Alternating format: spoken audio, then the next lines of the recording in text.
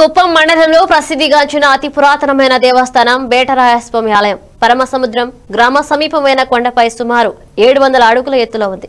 ఈ కొండ మీద ఉన్న ఆలయం వెంకటరమణ స్వామి ఈ ఆలయం కర్ణాటక తమిళనాడు ఆంధ్ర మూడు రాష్ట్రాల కోడలిలో ఉంది. ఈ కొండకు క్రింది భాగాన కాలభైరవసురుని ఆలయం కూడా ఉంది.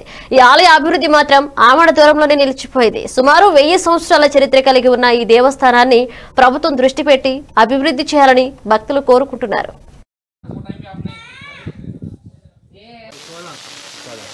సోలార్. అంటే ఇన్స్ట్రుమెంట్.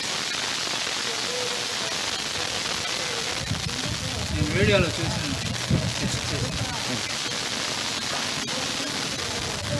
తెలంగాణ ఆలా కమిటీ మెంబర్ ఒక సురేష్ బాబు అని వస్తే ఆయన క్వశ్చన్స్ ఎక్స్ప్లెయిన్ చేస్తాను. ఇది అన్నా పాండిచేరి నుంచి